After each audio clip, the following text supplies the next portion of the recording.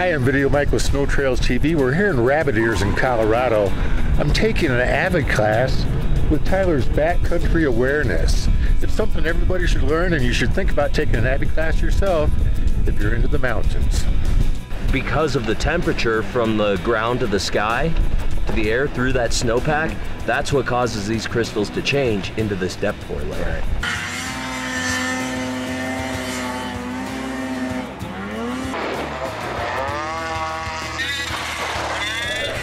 You done did it. Sometimes when we're riding an avalanche terrain, we don't think about how serious it can be. Obviously, the damage that can happen to your equipment um, is a big deal. Um, what we're going to work through in the next three days um, is a risk management process. I'm Tucker Mertz, and I'm taking the level one avalanche class with Brian Lundstedt and Tyler's Backcountry Awareness. Uh, I decided to take this class just because I spent spend a lot of time in the woods and on the snow, and I want to know what I'm capable of and what I shouldn't be on. I guess I, I know what I'm capable of, but sometimes uh, there's limitations that you don't actually see and you take on challenges that you shouldn't be taking and this class is helping me and the others to to realize what you're going through and what you're actually going to cause and the dangers of it. Um, it's nice to be taking this class because I've brought several friends with me and they're the people that I want to ride with the most. And I also want people to ride with me that know how to save my life. And this class is going to be uh, it's great just to know that I'm riding with people that can save my life and I hope it's the same for them knowing that they know that I will be here to save their life if it if an avalanche occurs.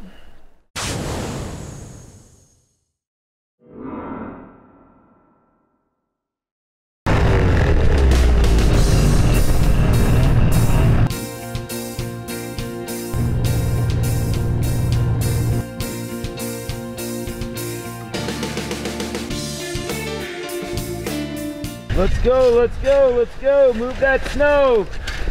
We don't have an airway yet. You ain't done digging. Have everybody do this. Make fists. Put it against your nose. Apply pressure until it's uncomfortable. You are now calibrated. That is how we figure out the hardness of the snow.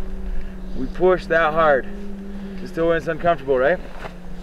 And what we're gonna do is we're gonna go down the wall on the snow and we can start with our fist. We're gonna push about that hard. No, not that hard. It's a little softer there for a second, but still not fist hardness. So none of this is really fist hardness where I'm looking, right? We're down into this depth hoar down here. Oh yeah, you hear it. And my fist goes in. So down here, we're gonna be fist hardness.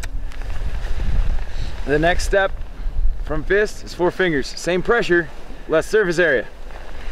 So we can just, yeah, that's definitely four finger right there in the top. And then it's probably not anymore there. Definitely not there. And I promise you, the snow geeks are calibrating like that. It's a real calibration. So then after four finger, one finger,